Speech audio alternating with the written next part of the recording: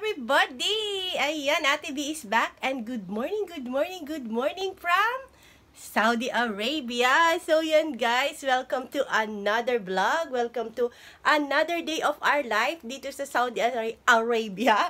At yan, as you can see, nakaabaya na tayo dahil it's uh, 5.55 at kailangan na nating pumasok sa ating trabaho. So yan guys, samahan nyo si Ate B for today's vlog. At dahil may i-share na naman ako sa inyong tips na for sure ay magugustuhan nyo. So yan guys, samahan nyo si Ate B at papasok na tayo ngayon.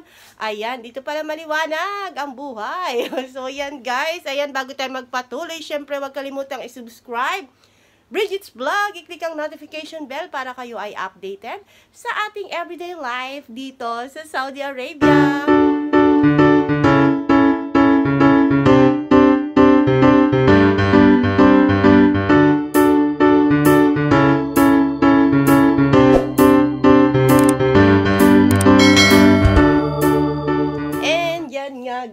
Guys, Ate is back at kailangan nating magmas dahil tayo ay papasok na.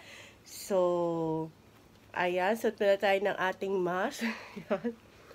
at kunin natin ang aking banalot at ang ating mahiwagang susi dahil hindi na naman tayo makakapasok kung wala tayong susi. Ayan, 'di ba? At magsapatos tayo dahil baka maka Baka pumasok na naman ako na nakachinelas, ano? Yan. Di tayo nakapagsapato sa pagmamadali dahil tayo late na. Ayan, di ba? Na-miss nyo ba ang aking uh, morning vlog? So, ayan. At uh, papasok na nga tayo at wag natin kalimutan ang aking binalot. So, wait lang.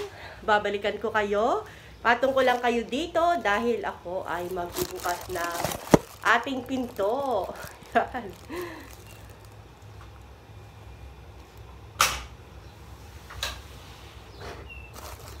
so, yan guys. It's 5.58 na at naririnig ko na naman ang huni ng mga ibon. Naririnig nyo ba yun? Ayan o. Oh. Nawala yung mga kalapati namin dito sa school. Ang pumalit ay mga maya. Ang daming maya guys dito ngayon. Kaya yan. Yun, oh, naririnig nyo ba? At yan, it's uh, almost 6 o'clock in the morning. Uh, tapos na ang morning prayer kasi medyo maaga na ngayon morning prayer nila. At ayan, papasok tayo sa ating work. See you na lang sa loob ng school ha.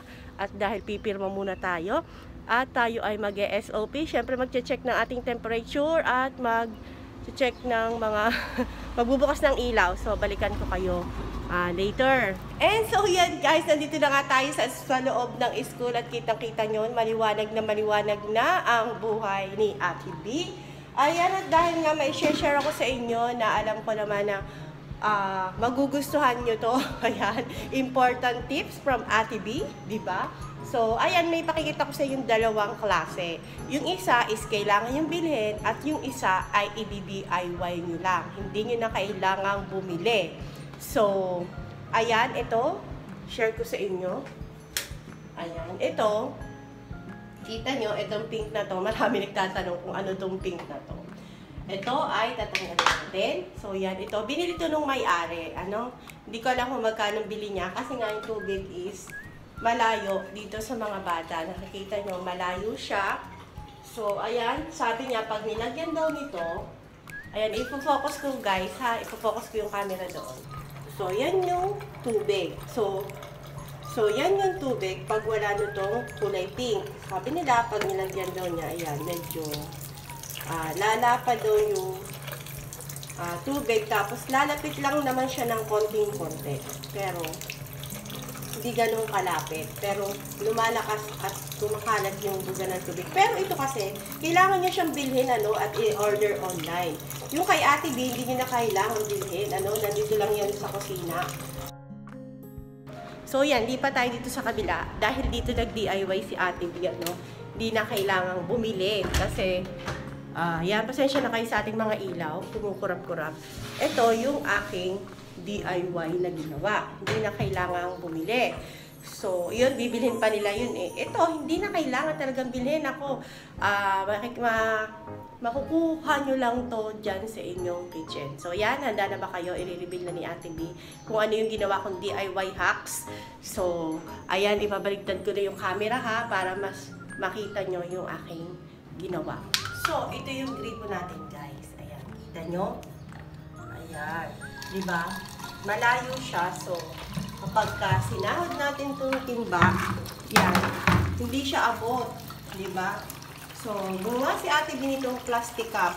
Ayan. At, binutas ko lang siya doon sa gitna. Kita nyo, ginayatan ko lang siya sa gitna. And then, ayan, patayin natin yung tubig. Tapos, isuot natin dito. Ayan, nyo. Isusuot nyo lang siya dyan. And then, ayan, kita nyo yung timba. Buksan natin ang tubig. O, di ba? Shoot na shoot siya doon sa timba. Ayan, hindi na tayo, hindi na natin siya kailangang hawakan. Ayan, buksan lang natin yung tubig. At, yan, that's it. Di ba? Napakadali. Hindi nyo na kailangan bumili. And so, yun na nga, di ba, napakasimple lang. Hindi na kailangan bumili noong kagaya noon na yumuyuko naman siya. Ayun, plastic cup lang. Di ba, ang laki ng buga ng tubig. Hindi mo na kailangan bitbitin yung timba. Kasi dati, ginagawa ko, binibitbit ko siya para lang sumaho dun sa gripo. Pero ngayon, hindi na, ano, di ba? Yan, isip-isip din pag by time si Ate B, di ba? Kasi nga, para mas mapadali ang trabaho. ayan. Ayan. Ayan ang ginawa ni Ate B para mas mapadali ang aking trabaho. So, yan guys, di ba? Sana magawa niyo din yan. At sa mga ka-OFW kung nandito sa Saudi Arabia, ayan, alam ko makaka-big help yan ang tips ni Ate B for today. So, yan guys, don't forget na i-like, i-share, subscribe po ang ating channel.